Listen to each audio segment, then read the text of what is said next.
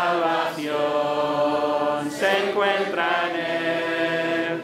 No hay otro nombre dado a los hombres, solamente en Cristo, solamente en Él. Y la iglesia de Cristo dice...